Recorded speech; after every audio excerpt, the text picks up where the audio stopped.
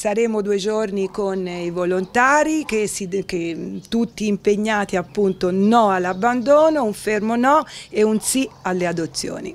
Crescono fortunatamente le adozioni dei cosiddetti trovatelli ma sono in aumento purtroppo anche gli abbandoni, per questo l'EMPA scenderà in piazza per la campagna nazionale contro gli abbandoni.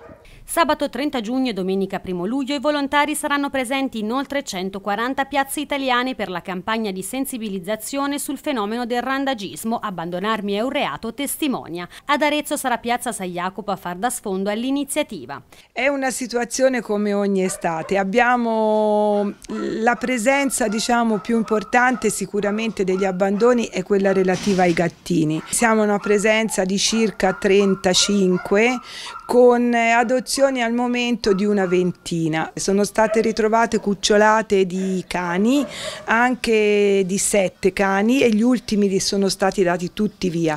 Quindi siamo a un numero di circa 45 ingressi dall'inizio dell'anno più eh, abbiamo avuto di adozioni eh, altrettanto perché riusciamo diciamo per un meccanismo anche di spazio in canile noi dobbiamo sempre bilanciare ciò che entra con quello che esce perché lo spazio è quello che è e quindi non potremmo saremmo in seria difficoltà ecco non riuscissimo a fare adozioni. Tra i reati contro gli animali l'abbandono resta uno dei più diffusi. È un reato non solo un reato di maltrattamento per, perché si abbandona l'animale, ma è anche un, eh, bisogna ricordare che se l'animale provoca un incidente eh, può, e questo incidente anche poi ha conseguenze mortali, addirittura possono esserci proprio condanne spese.